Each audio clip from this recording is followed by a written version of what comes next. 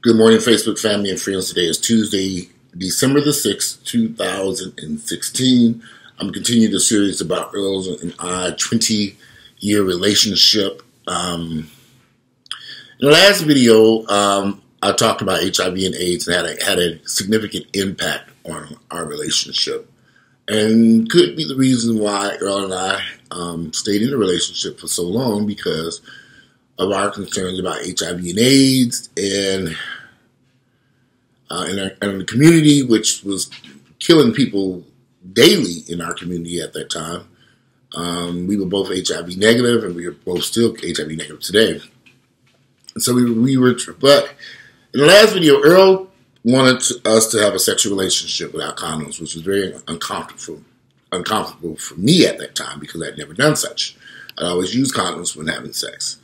Uh, but I had had many guys who wanted to be in relationships with me and they didn't want to use condoms, and I terminated the possible relationships because I just was not comfortable not using condoms in that era. So Earl and I made the decision that we were going to move forward and we were not going to use condoms because that was something that we thought would bring us closer together. And maybe it did. Maybe it did bring us closer together. I, I can't really. I don't know the answer to that. Um, but when you've been with somebody for so long, from 1996 through 2016, um, I can't say for sure if using condoms or not using condoms made us closer. I don't know the answer to that question. Um, so I think when people make the decision not to use condoms, they need to take it very seriously. Uh, when we decided we were not going to use condoms, that we were going to be in a relationship together, then I wanted to make sure that we were in this for the long haul. That this wasn't going to be something that six months later or a year later we were going to be going on about our business. Uh, the first two years of our relationship was very. I would have, I can honestly say the first two years of Earl's and our relationship was what I call the honeymoon period, and we had a great. I remember those first two years clearly. Um, it wasn't until after the first two years and when we started living together, we had so much pressure from outside sources well, a couple a couple things happened. I started the construction company. I bought a house, uh, about two houses. We started when we, our income increased significantly, and I think a lot of that played a part in in the problems that we had. There's a song by Sinead O'Connor where she says, "Success has made a failure of my home," and money and success can easily can easily cause very serious issues in a relationship if you're not careful. But there's always these outside people, jealous, envy, hate, family members, friends. So if you, unless you've never been there, you probably won't understand why I keep bringing up these outside sources. Because all our problems that we had in a relationship, all every problem we had was from somebody outside the relationship. We couldn't create our own problems within the relationship. There's always these outside people, this person, that person, my at one point in time, good example, we had my mother was cleaning. My mother had a cleaning company, so the arrangement was that she would clean the house for us. And at first, that was fine. She'd come in, she'd come in and clean with her crew, and everything was great. But then Mama started leaving Bible scriptures around the house. She started leaving quote selling. She would see Earl and say little quotations like, "We all having problems because there's no such because there's, there's no such thing as Adam and Eve or Adam and Steve." But she denies this to this day. But I don't think Earl lying on my mother. She made that statement because I saw that she would come in with these Bible scriptures. She would come in and take uh, magazines and artwork that she didn't like, and she'd take them and stick them in drawers and all kinds. So she was in there being a busybody instead of cleaning the damn house. She in there trying to uh, influence the house with her opinions. She was constantly, every time I would come to the house, she was over Earl praying. I'm like, what are y'all praying about? What is going on? My mother really shouldn't have been there cleaning that house. But at that time, of course, being young, she had the cleaning company. It just seemed easier. She come in and cook. She would come in and clean the house. We ended up having to terminate our relationship with Mama's cleaning company, get us some Mexicans who barely spoke English. That worked out much better. To this day, I found that when you have people cleaning your home, they, they, they, they don't need to know the English language. They just know need to know how to scrub, clean, and vacuum. That's all is required. Make up beds and fold clothes. So once we got with a mama, and uh, uh, my mother continued to be a busybody for quite some time. I, I remember at one point, my mother was having private conversations with Earl on his cell, cell, cell phone, and I didn't know this. Um, you know, they say the road to hell is paved with good intentions. Now, my mother's intentions, she thought she was being good by talking to Earl, but my mother was creating some serious problems within this relationship. My mother ain't had no business talking to Earl on his cell phone about me. That did not, she crossed some boundaries there. Of course, she, she denies it to this day. I didn't do that. Um, Mama, please. You did it. So this went on for a while before I found out. There were a lot of things Earl wouldn't tell me because he was afraid that if he said something to me, I would go off on certain people. You're gonna you're gonna go cuss your mama out? Yeah, well, mama deserved to go cuss it out for sitting on the phone having a conversation about me behind my back, and, and you taking your the you taking a phone call that did you having with her, and it's twisting all up into your head, and all of a sudden, you know, I was always made out to be the villain in all this shit. Family members, friends, and it, it boiled down to what I said about money. When people think you got money and you're in control of the money, they try to come at you in all types of ways. So for some reason, when people look at Earls in our relationship, they kind of look at, well, Walter's the one who's financially in control of the money. No, I wasn't in financially control of the money, but that's what they thought. So Earl worked his own job. He had an income. I didn't know what he, he did whatever he wanted to do with himself. The money we worked together on a construction company went to a pot and we from the outside looking in, a lot of people assume, well, Walter and Earl got all this damn money and they doing this and they doing that. But they didn't. But the truth of the matter was, we were in debt and we were paying bills and we were working our fucking asses off. We never really even took vacations because we were working so hard. And that was a huge mistake when I look back on that. We should have been traveling, doing all kinds of stuff. But we were too busy dealing with raggedy, termite infested houses, the Mexicans who couldn't speak English at Home Depot. It was a nightmare. It went on forever. And ever and ever. I'm serious. When you own your own business, you just have to be prepared to put up with a lot of shit from workers, family members. For it's just, and they don't get it because if they're not there helping you, which none of them were, that would have been a, in a perfect world. It would have been nice if my family members jumped in there, um, supporting us 100%, working with, but you know, didn't happen though. They're all able-bodied grown adults. You think they came over there? I think some. I think for uh, a lot of them, they just didn't want to work with me. Well, here I was under a great deal of stress trying to make this shit work, trying to make sure these houses were able to get done, renovated, and sold. That was not easy work. So I was just, it was, a, it was just a nightmare. And I don't think people understand that.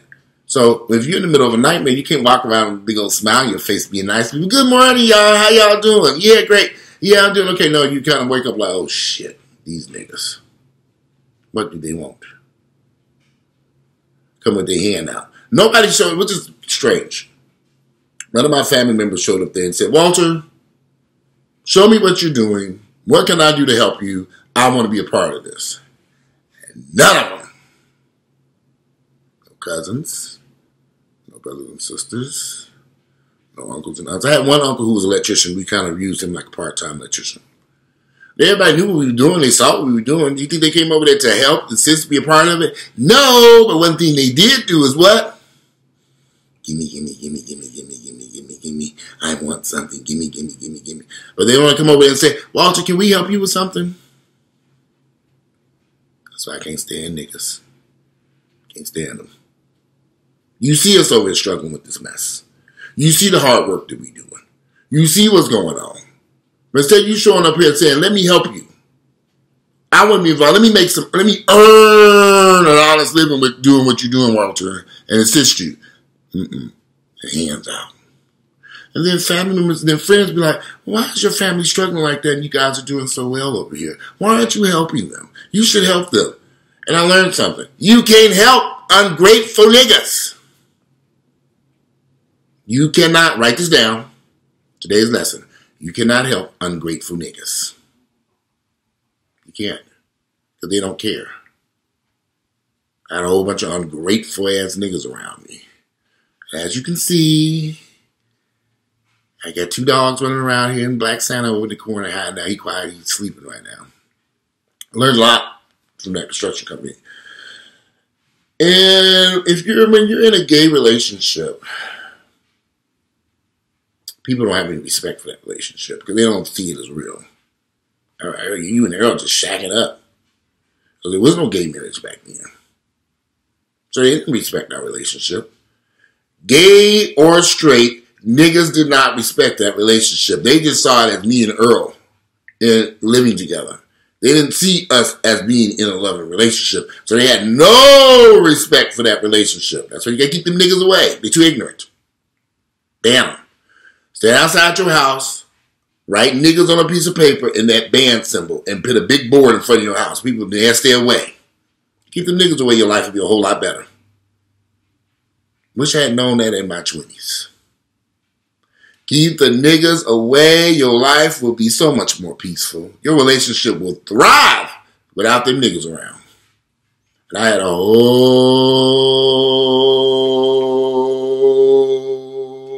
bunch of niggas around. But once I got rid of their asses, and, and we'll I'll get to that later on in the video series how eventually I got rid of these ignorant ass niggas that was hanging around. They had to go friends, family members, neighbors, all them niggas had to go. I had enough. As you grow older, you become less. I, I love when people say, "Well, to you, bitter." No, I didn't become bitter. Bitter. I'm not bitter. I just don't want to be bothered. Because I've learned, no matter, I bought houses for people, houses, cars, rented apartments, bought them furniture, clothes, shoes. Who does this? I did. Bought your house, helped you pay for it, bought the car for you, making the payments and the insurance on my insurance.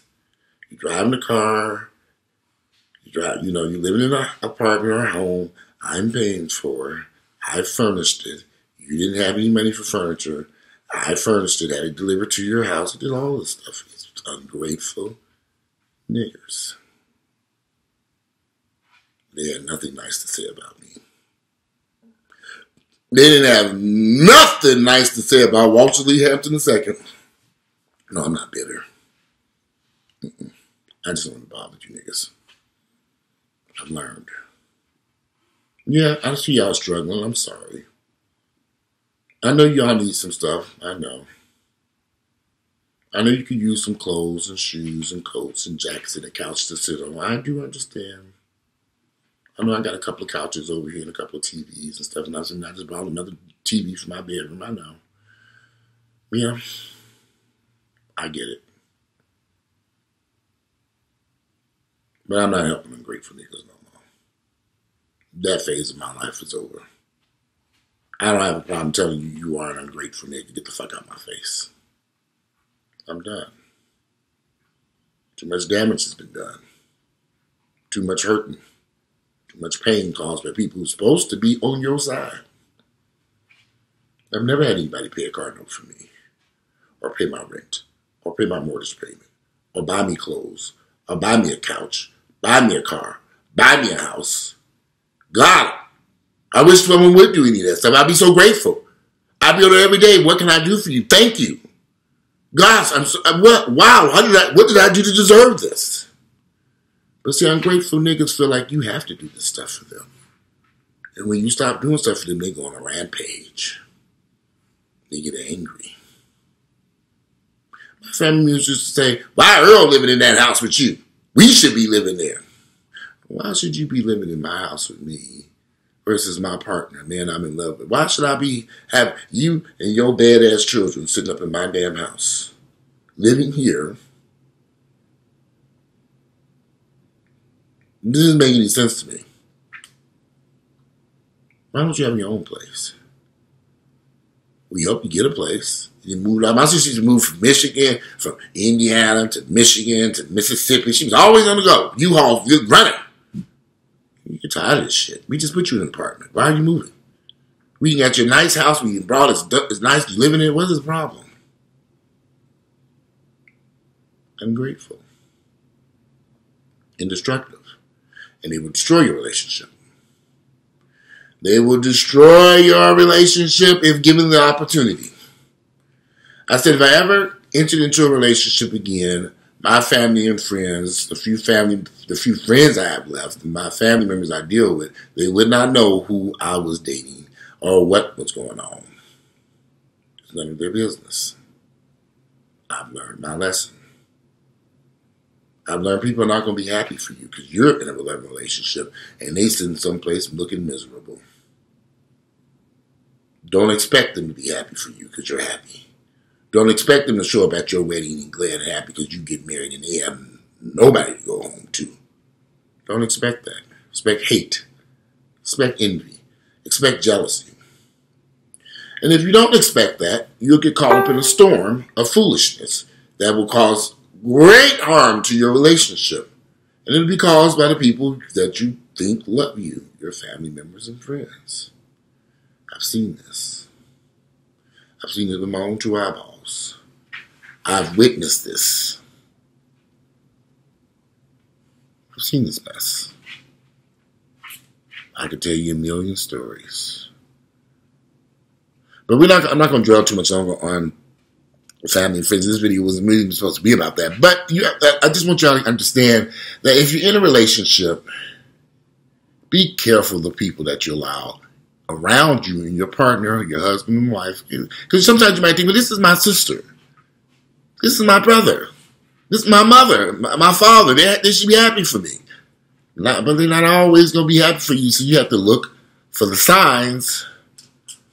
Look for the signs to find out why they're not happy for you and find out what could be going on. It's just, you won't know. Anyway, I'm going to continue the series tomorrow with about the situation with Earl and I. But like I said, and I hope you all understand that, that the reason I'm doing this video is I hope to educate people and help other people who are in relationships. I'm about to get into relationships. Be careful of the people you allow in your life, the people that you think are your road dogs and your friends, your family, people who they can cause a a great deal of harm, irreparable harm, to your relationship, and then just sit back and laugh as you, everything implodes all around you. That's how they operate.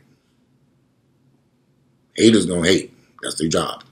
Anyway, today it is Tuesday, December 6, 2016. I'm out of here. I gotta and get dressed and prepare to take care of some stuff here now. So I'm take I might shoot another video later. We'll see. All right, I'm out. Bye.